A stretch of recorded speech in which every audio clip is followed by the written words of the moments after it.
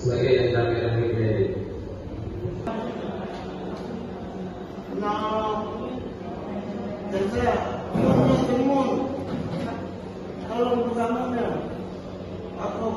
Bu bisa dijelaskan sedikit uh, terkait kasus ini tadi terdakwa siapa Bu?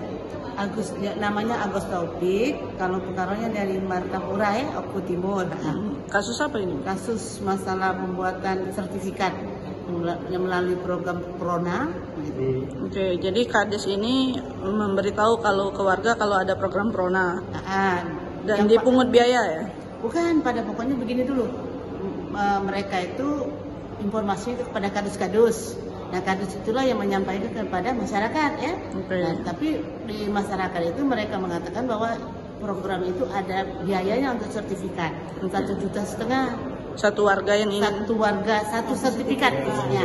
Nah, Nah. apabila yang maksudnya itu kalau untuk mereka merata pertama DP dulu kan kalau sana satu DP-nya 200 ribu nah setelah selesai sertifikat ya mereka harus pelunasan waktu sertifikat diserahkan satu juta tiga ratus lagi gitu Oke, berarti tadi yang jadi terdakwa ini kadesnya, Bu. ya? iya yang menjadi terawatnya kadesnya Untuk kadus-kadusnya sendiri ter- terlibat atau bagaimana? Turut menerima uang itu atau Nah, bagaimana? untuk sampai saat ini kalau untuk masalah kadus belum ada gitu ya. Yang Hmm. hanya ini kades saja dulu. Dari keterangan saksi tadi membenarkan kalau Pak Kades ini meminta uang satu juta setengah ya, Bu ya?